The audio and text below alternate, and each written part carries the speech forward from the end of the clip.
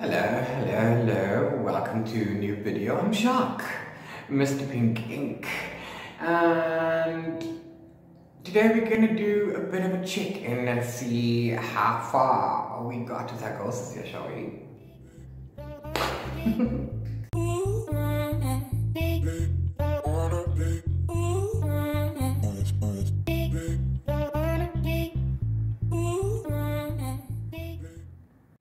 So the mid-year book freakout tag has been around for a while. I did one last year. I shall link that down below.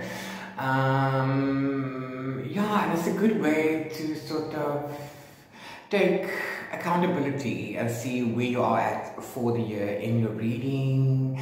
See if you found any gems. Um, see what you're happy with, what you've been disappointed by, and what you're looking forward to. Um, and six months have gone by of the year already. Can you believe? Can you believe? Um, yeah. Wow. 2022 is halfway through. And yeah, I've read some good books. I've read some good books. Um, so yeah, let's go on to the tags. The questions on the tags, there are 13 and let's have a look see. Oh, just a quick note about my video. If this tag is meant to be all 2022 releases then that's not how it works here by me. I read what I read in 2022 and if it's a 2022 release then yay.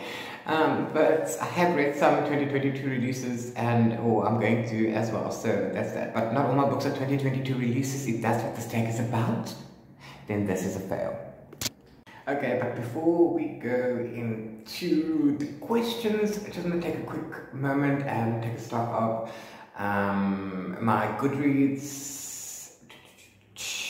My goal for this year is 60 books only. I have been doing 80 books the last three years. Um, but last year I barely, barely made it, barely by the skin of my teeth. Yeah, so this year I did 60 because I can always increase the amount. And currently I'm finished number 43. We'll see. Question number one. The best book you've read in 2022 so far?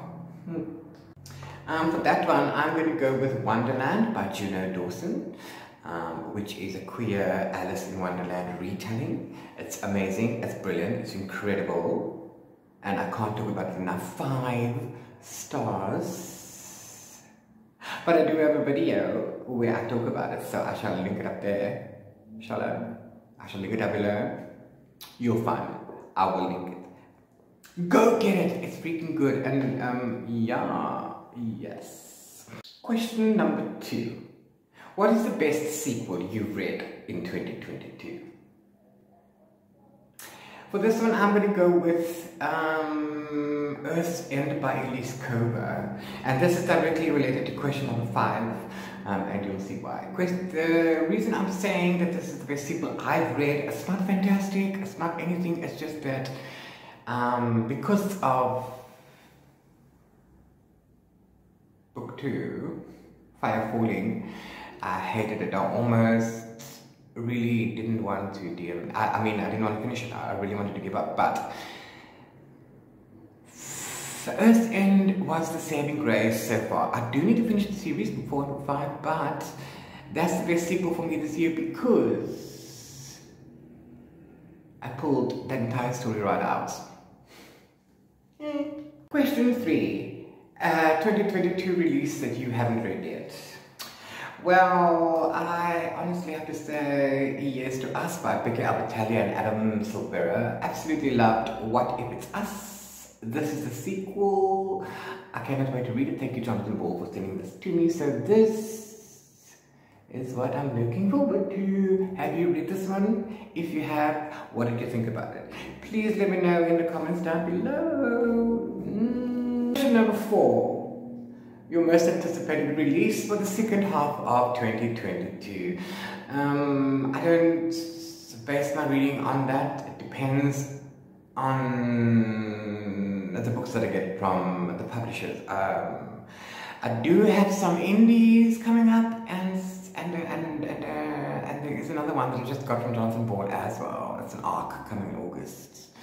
Um, so I'm going to be reading those. So if you want to know more, just be on the lookout for my July TBR, which is coming soon.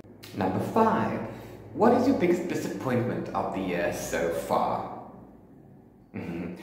Well, back to question number two. Um, I enjoyed Earth's End by Elise Kova because Fire Falling was a big, big disappointment because there was no fantasy. There was nothing happening. There was just a simpering girl over a guy can't do anything by herself and they're traveling and they're traveling in the desert and there's nothing and she's just dumb. Sorry. I'm sorry, but I couldn't, I couldn't. There were two parts of the book that were a saving grace, um, which is why I ended up reading this. And um, and luckily, that was well, yeah, it was much better, and it pulled the story together, and so on and so forth. So I am still looking forward to reading the rest of the series. Question six. What was the biggest surprise of the year so far? Hmm. Bam. Ladies and gentlemen, her Tempest by Julie Cross. It's a sci-fi romance young adult thriller. It is awesome and it's very surprising and it reads like a movie and I also have a video where I talk about this book which I shall link over here or down below. So do go check that out. I also do recommend this. This is a book one in a series.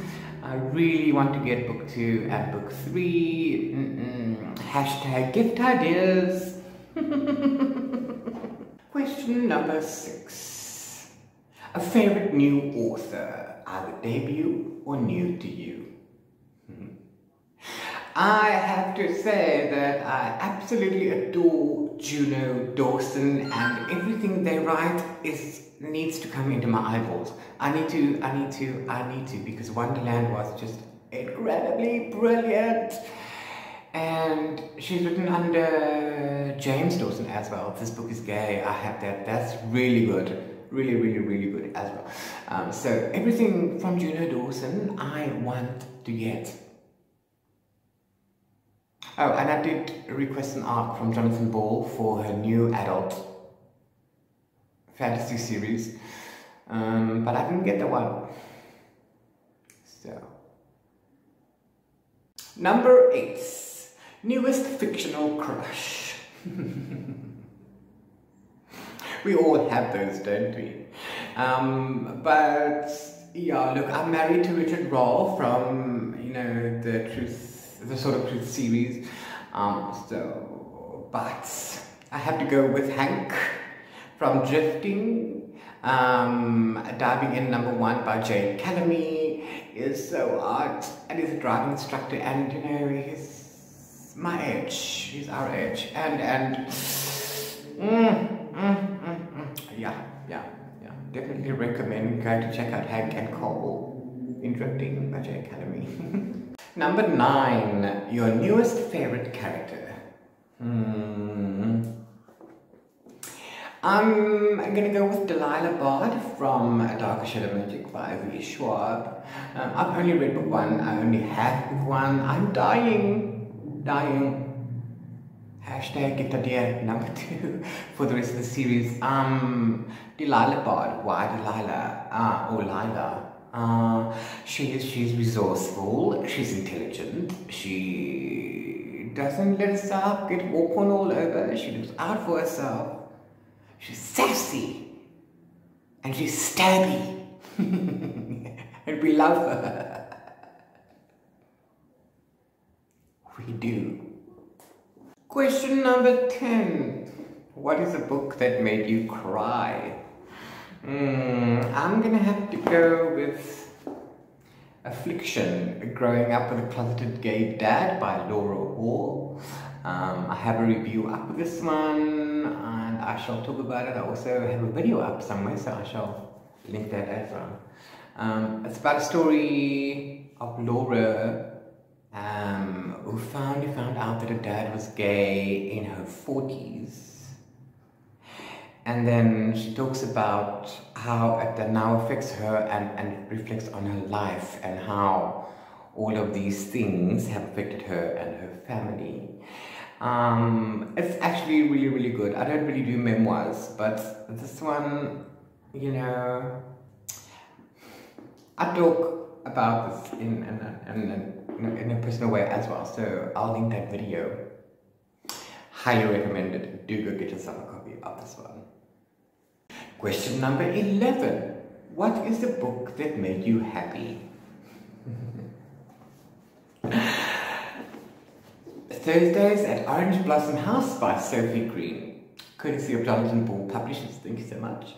This was another surprising book. It's what I call slice of life. I don't really think it is what that's called, but that's what it is. Chick lit, obviously, women's fiction.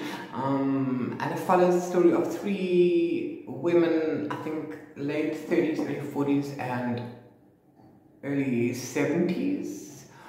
Grace Maud is awesome. I love her. I love her. But the other two girls are fantastic. I don't know. It's, they, they find struggles in their lives that they, you know, need to deal with. It's about acceptance and and and and dealing with things that you wanted to have but can't have, and then you know how your life goes from there, and and, and so on and so on. And and the main thread that pulls these ladies together is there's, there's an Orange Blossom House. I love the title. I love the pink. Obviously, do go get yourself a copy. Highly recommend this one. Highly, highly recommend this one. I do. Yeah. Question 12. What is the most beautiful book you bought so far this year or received as gift from a publisher? Um, I'm going to go with War Hearts by Terry Goodkind. This is the finale of the of Truth series um, number 15 I think. I want to replace my entire series with this edition. Mm -hmm. Okay, and this is number two, the second book that I have, not number two, it's the second book that I have in this edition, and it's beautiful. Look, it's so pretty. Love, love, love.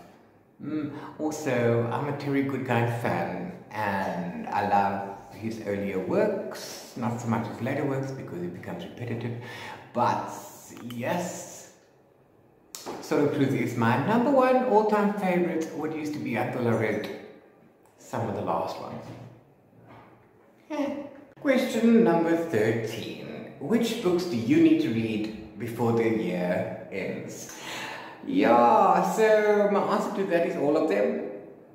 Obviously, all of them. Um, but yeah, I've got some stuff that I, that I, that I picked up at the Park Book Sale now now and I've got some books from Jonathan Ball.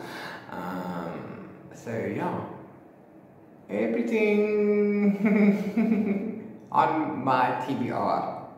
Whatever I read by in the next six months, that's what I need to read. Okay? Okay, I'm going with that. Whatever I read in the next six months is what I need to read. yeah, and that is the mid-year book freakout tag, uh, middle of the year check-in, um, and that is how I did. I'm not going to count my pages. I'm not going to um, do that. Uh, I could, but I won't because it's work, a lot of work, and I'm not the guy right now. So, yeah, I'm pretty, pretty, pretty proud of myself and what I've, I've, I've achieved this year. I haven't achieved anything. I mean, I read 42 books, 43 books, whatever it is. so, yeah, that's really great. Please do let me know down in the comments below what you read so far this year, which was your favorite and your most disappointments. I'd love to absolutely find out and hear about them.